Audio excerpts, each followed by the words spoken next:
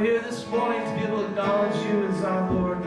We pray, God, that you will help us to, to put aside all those other things that are in our minds and hearts that, that um, take over and, um, you know, bring us down, those things that are distracting us, these anxieties that are going on in our lives. We pray, God, that you will be able to take those away from us and give us this opportunity that we can just stay focused on you, that we can be able to worship you with our whole heart, soul, mind, and strength, and um, be able to hear the words that you have to speak to us today. And let us not let that not be just be some words that just to puff us up with, with knowledge, but to help us to be able to do something different with our lives, to be able to go in a new direction in a way that we be able to find the kind of purpose that you have for us. Help us to be able to, to go in a new direction and uh, be able to carry out your will, Lord.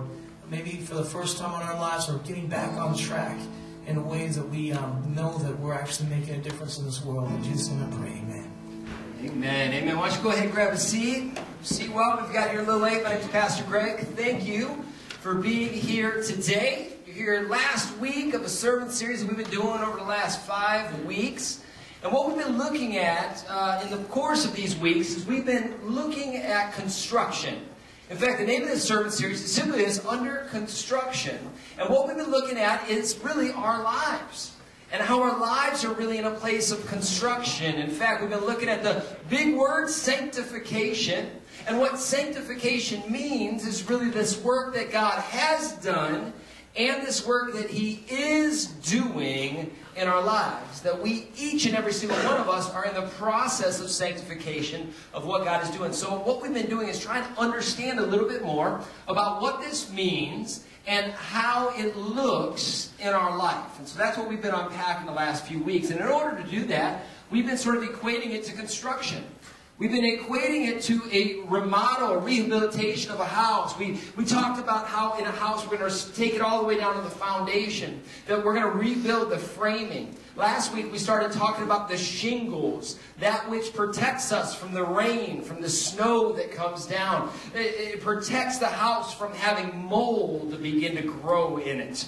Talked about black mold. That was fun. A little gross. Yeah, nasty. But last week we said the shingles in our lives are the relationships, the people that we have. And when we have a relationship, when we have people in our lives, they help protect us. Protect us from that mold. Protect us from that rain that comes down. They become shingles in our life. And if you've ever worked on a project, built something, uh, been in a rehabilitation, or simply moved from one house to another, you know the relief that you have when it's finally done when all the walls are up, when all your stuff is in, when you finally take that last box that you have and you unpack it, and you put everything on the shelf, you know the relief that happens. And I was trying to think back to, uh, for, for my family, we've moved a lot, especially since we came to Arizona. I was trying to figure it out, but I think maybe we were in six houses in five years. It's not because we're bad tenants either, all right? So don't get any ideas like that. It's like the, the Lord just kept moving and the Lord just kept blessing us in different areas. And so we've moved a lot, especially in those first five years. As an opportunity opened, we would take it, we would move to these other houses. And I remember every time when we would move all our stuff into a new house, there was a moment when the house went from being a house to being a home. There was something that we did that when we did it, it moved from just being a house to actually being a home. And what we would do is that we would take something that followed us to each and every single home. And it was our welcome mat. This is my actual welcome mat. It looks like it's been through six homes, doesn't it? It's a little rugged. It's seen better days. But we'd take this thing and we would place it right in front of the front door almost like a message to say, okay, we have this house, right? And now we want people to come to know that they are welcome to come here.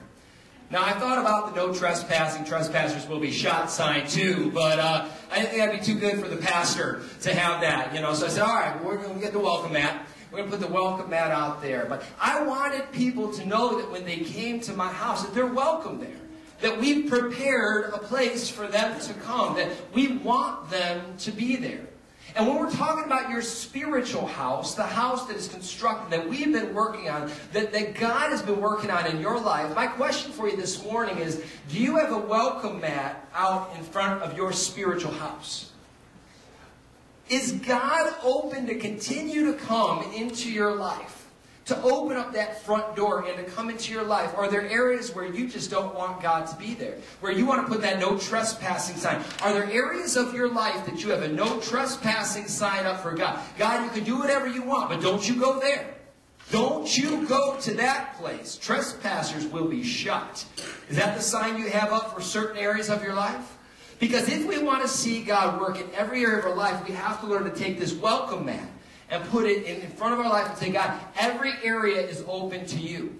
I want you to come in. I want you to have your way. My life is welcome to the movement of God inside of it. See, it's a very important place for us to be because God wants to continue to move inside of our lives. I was thinking back, and I was thinking back to sort of high school and science class. Any science fans out there? All right, one. Yes. All right, great. I remember science, and, and one of the classes that I really didn't like was physics. Passed it with a strong D plus, man. It was great. Uh, it was difficult for me, physics. But one thing I remember, I remember the guy that had an apple that fell on his head. What was his name? Newton, everybody remembers Newton. Newton, he had a lot of laws, right? He come up with all these laws and all these things. Well, if you remember science and you remember Newton, the first law of motion, this is Newton's first law of motion, said this. Everything continues in a state of rest unless it is compelled to change by forces impressed upon it. I'm going to say it again. Everything continues in a state of rest unless it is compelled to change by forces impressed upon it. And I want to let you know that probably when Newton came up with this law, he wasn't thinking about our spiritual lives, but he could have been thinking of our spiritual lives. Because I want you to know that spiritually in your life, you could be at a place of rest until forces are impressed upon you to change. And in fact, we see that oftentimes in church. Someone comes and they come to know Christ, and, and, and, then they're there, and then that's where everything stops. And so they find themselves seated, plated, and, and here, sitting on their hands, not moving forward in a stale place, and they've been there for year after year, decade after decade, because they're not allowing a force to be impressed upon them. See, God is in the business of having us move forward. He is in the business of changing us. He doesn't want us to be the same next year that we are this year. He is in the process of change in our life. And in order to do that, He allows forces to be impressed upon us. Now, spiritually, when we look at our spiritual lives, the force that is impressed upon us is the force of the Holy Spirit in our lives. The Holy Spirit comes into our life and changes us. That we're not the same today that we were last year because of the work that the Holy Spirit has done and is doing in our life. However, it is not very easy sometimes to leave the welcome mat for the Holy Spirit to come and say, Come into any area of my life. Come into every area of my life. Whatever you want me to do, God, I'm willing to do it. That is not an easy thing to do. Now, let me ask you a question. My question for you this morning is simply this Why is it difficult to leave the welcome mat out for the Holy Spirit? In fact, I want you to answer that. Why is it difficult to leave the welcome mat out for the Holy Spirit? What do you think? You want control. You want control. That's right. We want control. I want to be able to control this. And if I let God into this area, He's going to have control. And I don't want that. I want the control. Yes? If he'll what? Think of you. If he'll what? I couldn't hear you really. What he'll think of you. Okay, what he'll think of you. Okay, God, if I let him, if God, if I let you into this area, what will you think of me? You know, will will, will there be some some shame involved if I let you in this area, or, or or some anger? Will you be angry? Will you be upset? Good example. Yes. What if I had to change my behavior? If I don't let them into this area, it's like, no, no, no, no, no, no. You know, if I can't hear you, if I don't let you in, if I don't see it, if I don't read it, if I don't know it, then I don't have to change. But if I begin to allow God into this area, I may have to change the way that I'm living. These are all great examples. I'm sure we can come up with a bunch more examples of why it is difficult to let the Holy Spirit into our lives. But we know that it is vitally important for our growth. That for us to grow and continue to grow as believers, we have to allow God to continue to have control, to nudge us, to change us, to uh, examine areas that need examined and allow, give us the courage and the ability to change those areas. Now, let's look at why. I want you to grab your Bible and let's start our journey. And if you don't have one, there's one under the seat, or you can nestle up to your neighbor. If they wore their deodorant today, you can get really close to them, all right? If not, just grab a different Bible. And uh, we're going to open up to the book of Second Corinthians, okay? Now, if you're not familiar with the Bible, go open about two thirds. You're going to find Matthew, Mark, Luke, John. Keep flipping, you're going to hit the book of Acts. Keep flipping, you're going to hit the book of Romans. Now we're going to enter the land of Corinth, right? This is Corinthian land. First Corinthians, Second Corinthians after the book of Romans. And we're going to look for big number number three, all right? That's chapter number three in uh, Second Corinthians. So if you follow First Corinthians, keep flipping a second. Second Corinthians chapter 3. And as you're flipping there, let me tell you, uh, this was a letter. It was a letter that was written by Paul to the church in Corinth.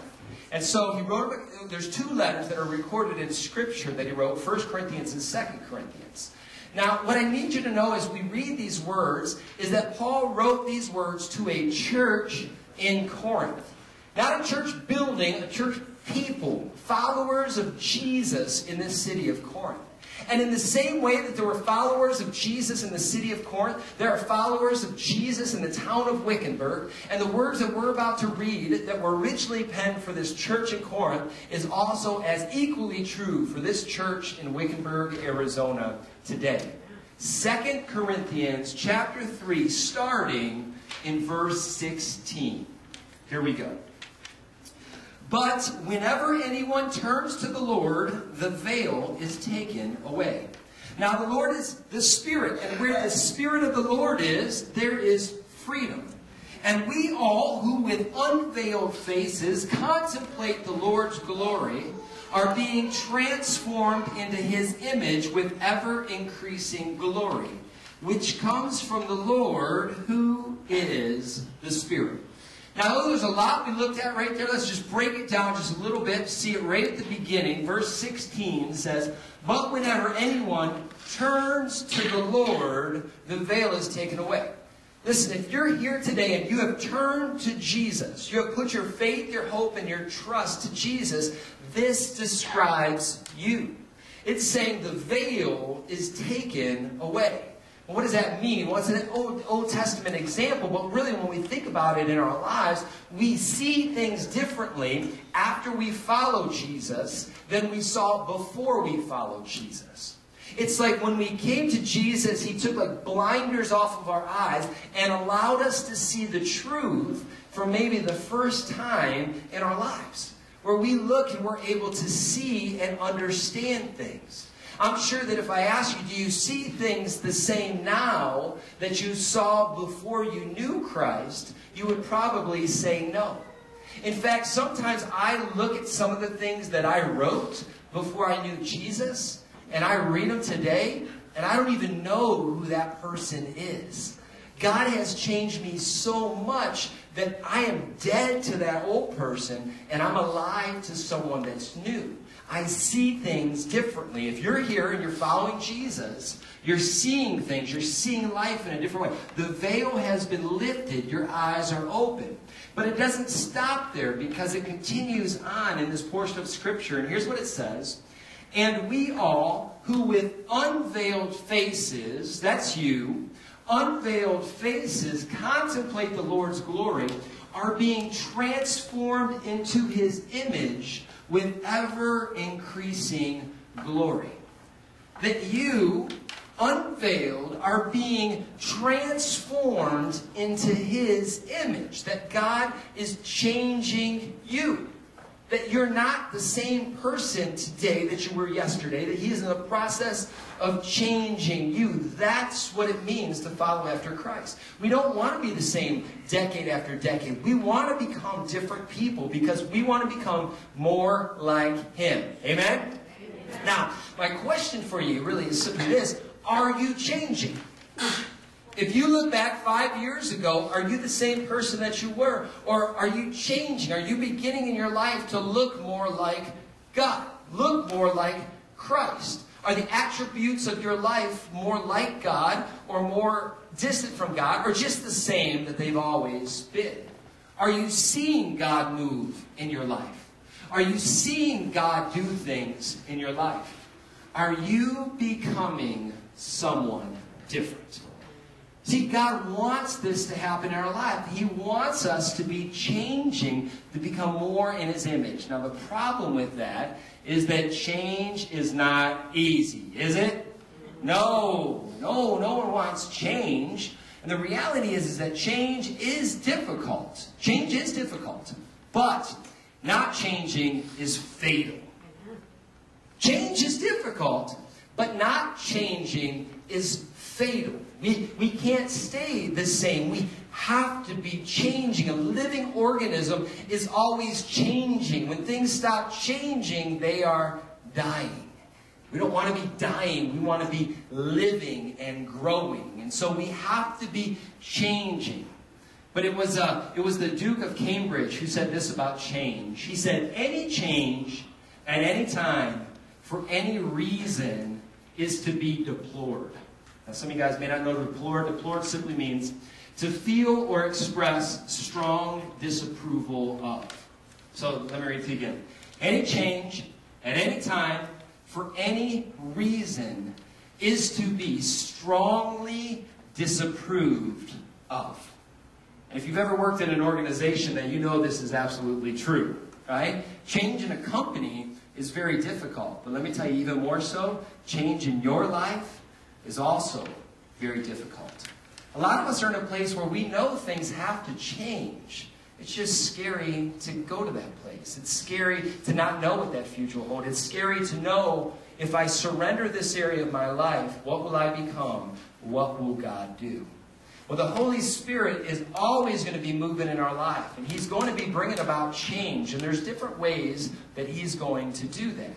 Now, sometimes the Holy Spirit comes into our life, and it's, it's a gentle nudge, right? It, not, gentle nudges are nice, especially when the Holy Spirit's involved, right? I mean, there may just be an area of your life where He's like, yeah, you probably don't want to go that way. You probably don't want to do this thing. And in the book of Acts in the Bible, there's story after story after story of gentle nudges. Times where the Holy Spirit is directing lives and leading them in the way that He wants them to go. I'm not going to tell them all to you, but I'll just point out a couple and tell you what ends up happening. The Apostle Paul has one story in the book of Acts, chapter 16, verse 6. Paul wanted to go in a certain direction. He wanted to go to this place to minister to them about Jesus. The door kept being closed. He kept knocking, kept banging. The door wouldn't open.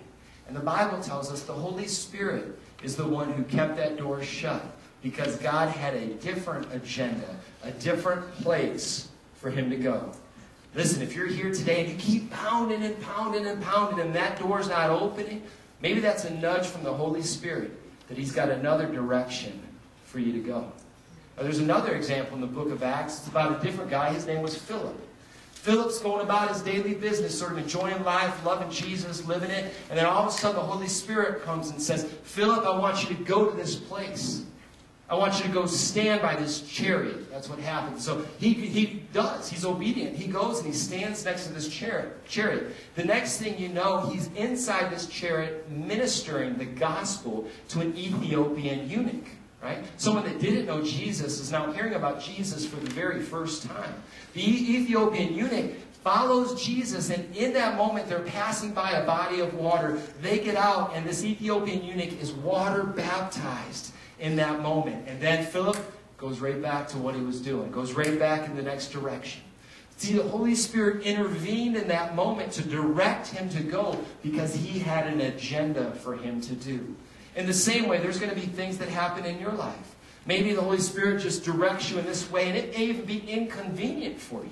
I don't know, maybe it was inconvenient for Philip to go and to do this, but he did it anyway, and a life was saved. God can do the same thing in your life, too. There's one other example in the book of Acts, chapter 2. The early disciples opened up the Bible, they began to minister, they began to preach to this large group of individuals. And as they preached to this large group of individuals, the Bible tells us that hearts were open and lives were changed. There was an incredible revival in Acts chapter 2 of people starting to follow after God. Let me tell you, that was a nudge of the Holy Spirit to begin to share God's word with these people. In the same way, the Holy Spirit can work in your life. Maybe when you're at school, maybe when you're at your workplace. There may be a Bible verse that you've been thinking about, you've been studying on, and the next thing you know, you're sitting in a conversation over, over a lunch break, and you begin to share this because the Holy Spirit nudges you. They're changed. Next thing you know, your whole office has revival. And it's just this incredible thing, but it happened from a gentle nudge of the Holy Spirit in your life. Sometimes that's how the Holy Spirit works. Now, there's other times, though, where it's not a gentle nudge. In fact, there's some times in our life where the Holy Spirit can speak through difficulty that we face, tough times that we face. Sometimes there's the repercussions of our decisions coming back into our lives. You know, there's this saying, it says this Some people change when they see the light, others when they feel the heat. We got some heat feelers out there today, you know. Uh, you know, we see the light, but we just keep on going. And next thing you know, we feel the heat. And that heat causes us to change. See, it's okay. the Holy Spirit can use difficulty in our life to change us if our ears are open and we're willing to be obedient and follow after Him. But sometimes in our life, there's areas that we, we, we don't allow God to work. Remember we talked about that welcome mat in the middle? We got a welcome mat on this area and this area. But in this area, we got do not trespass. In this area, we got trespassers will be shot. We don't want anybody in this area of our life. That's our own little secret area. And we're not dare going to allow God into that area. There was a guy, he was actually in Bible college, and he was like. He had areas of his life that he would let God, but there were other areas that were top secret. He didn't, didn't want God in these areas at all. He was sitting in class, and the professor was talking about letting God into every area of your life. Even those areas that you think God's going to be mad at. He would say, let God into that area of your life. His heart was like, just, yes, that's what I need to do. And so he went home and he grabbed all these note cards. He took all these note cards, and on every note card he put a letter, right? And he wanted to be reminded to let God into every area. So he put one L, E, T, G, O, D. And he set them up on his bookshelf so that every time that he walked past his bookshelf, he would see these letters. Let God. Well, this one day he was in his, in his dorm room and he was just walking back and forth and he was just praying. He was like, God, I, I just want to let you into this area of my life. And God, I just want to let you into that area of my life. And I know this area is really dark and it's sort of scaring me, but I want to let you into this area of my life too. All of a sudden, this breeze came up and, and, and one of those note cards just flew up in the air and just fell down on the ground. He turned around to look at what he saw, and he looked back up at his bookshelf, and he saw the note cards, except now they were a little different. It was L E T G O. The Holy Spirit spoke to his heart in that moment and says, If you want to let me into these areas, you're going to have to learn how to let go. See these areas that we have the do not uh, do not enter sign, the you're not allowed to trespass sign, the trespassers will be shot. Those are areas that we're holding on to with our hands that we hold on to really tight because we control those areas. And so the Lord is saying in your life right now, if that's an area where you want Him to move, then you're going to have to learn how to open up and let go. You're going to have to learn how to say, all right, God, this is all yours. And by letting go, you begin to let God into that area of your life. You say, you say, God, why won't you do something? Why won't you do something? He said, I'm waiting for you to let go. I'm waiting for you to let go. And when you let go, in that moment, you'll let me in. It's a decision that you have to make inside of your life. And for some of us, these are areas that torment us. They're areas that bother us. They're areas that, man, they, they cause us a lot of anxiety. They cause us a lot of worry. But do you know what Jesus said about worry? In the book of Matthew, chapter 6, verse 34, he said, Therefore, do not worry about tomorrow, for tomorrow will worry about itself. Each day has enough trouble of its own. Some of us in our life, we're, we're worried about these things. We're worried, what if somebody finds out? Listen, you've been holding on to this way too long. The best thing you can do is open it up so that people can find out and that healing can come into your life. You know, there's a saying, I say it a lot, it's simply this Secrets keep you sick. Secrets keep you sick. If you're here today and you're living in secret, I didn't say that at any other service today, so I said that for you. Secrets keep you sick. Don't continue to live that way. The Lord wouldn't have you. That's an area you got to open up. You got to allow Him into it. And then whatever He's going to do, you got to let Him do. But He's not going to be able to be in till you open it up and let Him in. Amen? You know, about worry, Francis Chan says this. He said, Worry implies that we don't quite trust that God is big enough, powerful enough, or loving enough to take care of what's happening in our lives. If you're sitting here, you're worried about something, worried about something, I want to ask you, how big is God in your life? See, because sometimes when our problems are bigger than our God, our problems gets our attention and our focus. See, it's, it's not a problem issue. It's a, it's a faith issue. And so what we have to do is that we have to begin to build our faith up in God so God begins to grow in our mind and our life.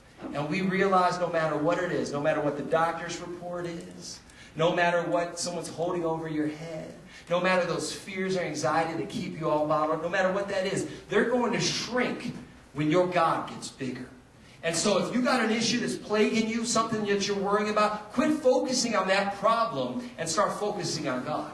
And allow God to grow in your faith, to grow in your life. And as that happens, you're going to find those problems are just going to be, begin to shrink because you'll realize what true perspective is all about and who God really is. Amen? Amen. Last one is this. The Holy Spirit can speak through people that are in your life. You know, 1 Corinthians 12 talks a lot about that, about people, about groups, about what that is all about. It tells us in verse 27, now you are the body of Christ. Now remember, Paul is speaking to the church in Corinth. You are the body of Christ. And each one of you is a part of it. Each one of you is a part of it. When we talk about the church, remember, we're never talking about a building. We're not talking about bricks and mortar. We're talking about people. When you leave, this is just a building. When you come in, this is a church. It's the church because you are in it. You are the church. And in our lives, as we live, as we exist, sometimes God is going to use people to speak into our life. And what happens sometimes is that we become shut off to that. We have to be able to open up to that. I am often shut off to that. I am a very driven guy, so I always have a to-do list. Any other to-do listers out there? I love you guys. You guys are awesome. To-do lists are wonderful. And so I'm a, I'm a strong to-do list guy. Well, about, about a month ago, the Lord laid upon my heart, He says, I want you to introduce yourself to a new person every day. I said, oh, yeah, that's easy. Something else I get to check off. This will be easy. And as I began to try to check this off, I realized that I would often go days without ever meeting anyone new, without introducing myself to anyone because I was so busy doing what, whatever I'm doing. And so I would go days and I said, man, this is a serious problem. I need to do something about this. Well, just the other day, I was sitting in the hospital waiting room, and now I know I got to put the check mark off that I meet somebody. And so I'm sitting there, I got my headphones in, I got my computer open, I'm doing work. And then I realized, oh, I got to introduce myself to somebody. Right? So I take my headphones off, I look around, I'm in an empty waiting room, except for one hospital volunteer. I know he can't go anywhere. So, uh, so I'm like, all right, well, this is my guy. And so I'm like, hey, how's it going? My name's Greg. And I started talking to him a little bit. We got, we got going talking. He was 93 years old. He didn't look a day over 75. I'm just saying. All right? This guy's volunteering at the hospital, right? I was so proud of this guy. And then, uh, not only that, so we start a conversation and we start talking. I found out he played racquetball every day. I was like? His name was Lake. You know, like Lake Superior? That was his name, Lake. All right? You don't forget a name like that. So I got 93-year-old Lake standing there, talk, you know, talking to me and telling me he played racquetball every single day. I used to play racquetball. I said, are you serious? I used to play racquetball. I said, I don't play racquetball anymore, though. I run. You know, I started talking to him about running. I was really excited about running. He looks at me, he's like, that's the problem. I'm like, what's up with that? What do you mean that's the problem, Lake? What's going on here, you know? He was like, well, that's your problem. I said, what do you mean that's, that's my problem? He said, well, he says, I play racquetball every day. He said, when I go in there, I go in a racquetball court. I step into this racquetball court, I play against one person. That's my opponent.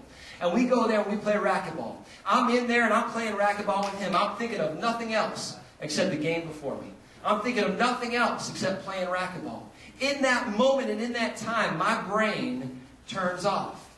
He said, when you run, do you think? Do you think about your problems? I said, absolutely, I think about my problems. I'm able to focus in on my problems. He was like, well, that's your problem. I said, what do you mean that's my problem, Link? This is, Link, this is great. I'm, I'm able to do this. He says, no. He says, your brain needs to shut off. If your brain doesn't shut off, here's what he says. He says, if you don't find a way to shut your brain off, you're going to subtract years from your life. I was like, oh man. I know the Holy Spirit was using this guy in the midst of that moment to let me know, pay attention to what you're doing with your life. Now, here's what I want to let you know that if I wouldn't have taken the time to take my earphones out and focus my attention on a hospital volunteer who was sitting in the waiting room, would I have received that advice in my life? I wouldn't have. And I wonder how many times in the past the Lord has put a lake in a room with a message for me. But because I was so consumed with what I had to do that I missed hearing what God wanted to say. Now, maybe you're in this church right now and that's where you are. You're driven, you're focused. Maybe for some of you, don't like people that much. And so you're happy being at home behind closed doors. Well, the Lord has people in your life that He wants to use to speak to you. But you have to be able to listen to them and what they have, want to say to you and be able to determine that that's from Him and what you're going to do with that reality. See, if you get nothing else and you get that, that has the power to change your life forever. But what I'm going to say next has the power to set some of you free. Because not only is it the people you don't know that has the power to speak into your life, not only is it the people you like that has the power to speak into your life, but also the people that you can't stand. You know who they are. I said it and their picture came into your mind, right? Might be a coworker. Hope it's not a spouse. Uh, but it may be somebody inside of your life. Someone that you can't stand. God can use that person to speak to you. I remember a time in my life when I was a carny. It was a high point in my life. Yes, I was a carnival worker. Right? I was the guy responsible for carnival food. You know, that really healthy stuff like deep fried butter. You know, that was me. That was, that was my job. And the great thing, I got to meet my beautiful wife because of that job, because she knew the owners of the company, but I was the guy inside of the booth serving up this healthy food. Now, I worked for a guy that definitely wasn't a nice guy. He was really a crotchety, mean kind of guy. He had a couple people that worked with him as managers, and then we were all there. Now, this guy didn't really treat his carny workers very well. It was not, not a lot of money, horrible hours, horrible treatment. The whole thing was no good. I was in a low point in my life, and I appreciated the opportunity to do something. And so I went ahead and I did this. And so I would work. And so when we would get back, so we would go out to a site, and afterwards we would come back. When we would come back, our job was to clean the fryers and clean the thing and wash the, the, the uh, trucks down and do all these things. While the three main owners, they sat around and they drank Killian's Red.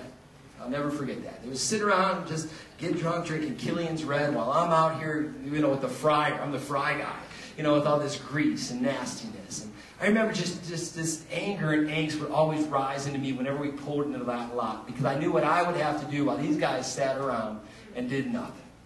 Well, I remember this one day I finished cleaning the fryers and doing everything. I walked over to them as they sat around their little circle. I was like, I'm done. Time for me to go. I'm clocking out.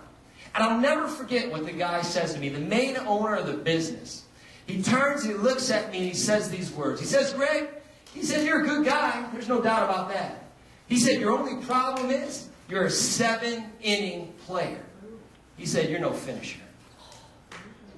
I remember looking at him, you know, and I'm like, yeah, yeah, whatever. And I left. This guy I had no respect for. This is a guy I didn't like. But this is a guy who said these words to me, and they changed my life forever.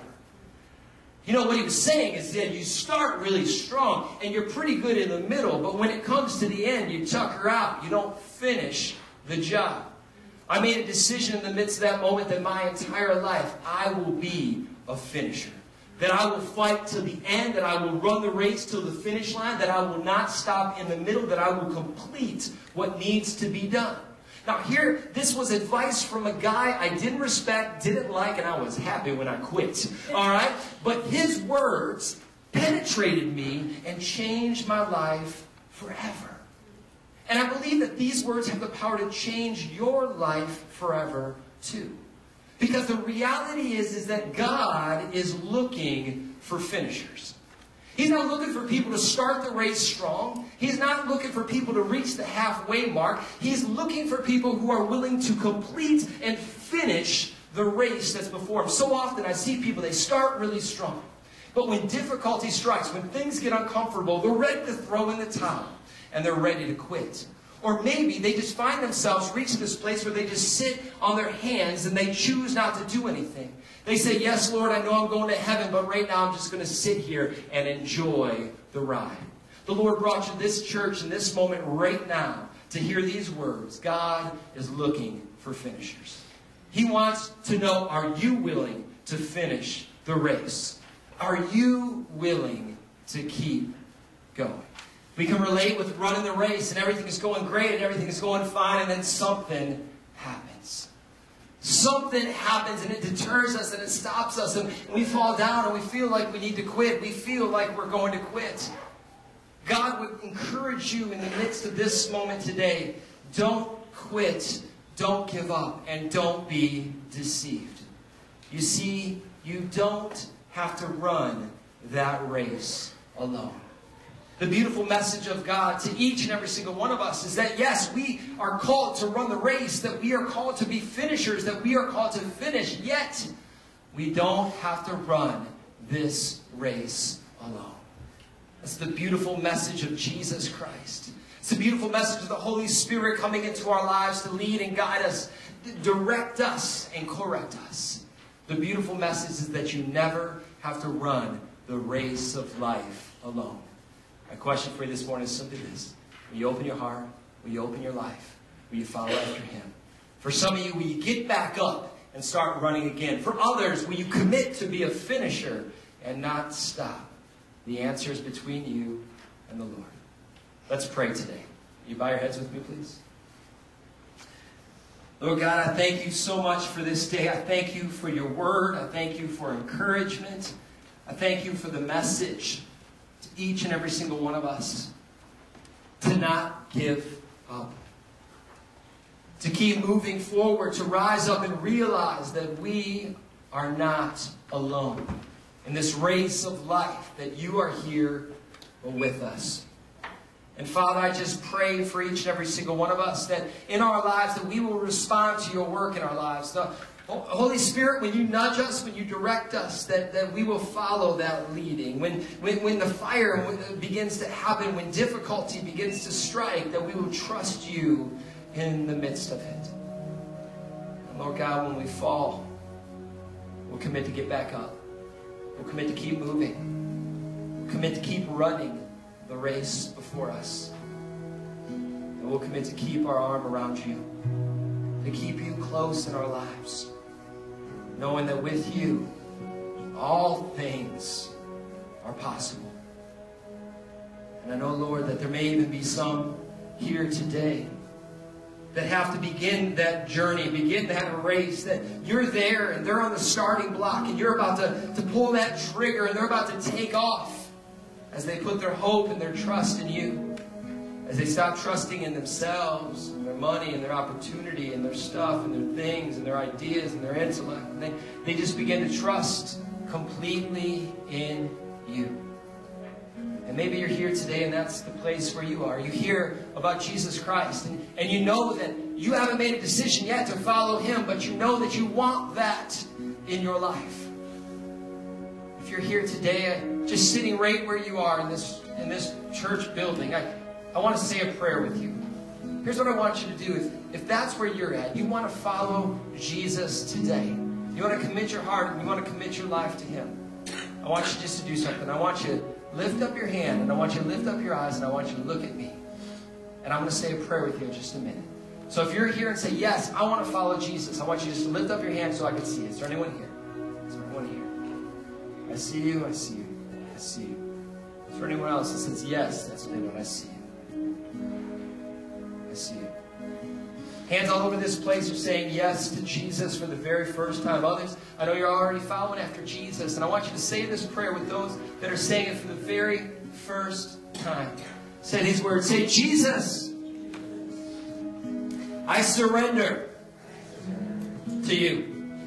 My entire life is yours. I'm sorry for my yesterdays, for the stuff that I've done or haven't done. But I thank you for sending your son Jesus to die for me and to offer me life and life eternal. Help me follow you today and every day for the rest of my life. I just want to pray for you, God. I pray for each and every single person that's here today. So many people making a decision to follow after you.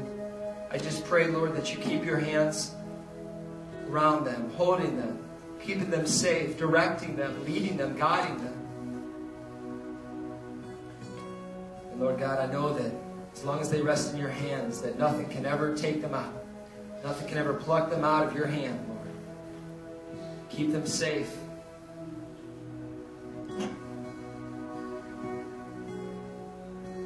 I pray that in Jesus' name.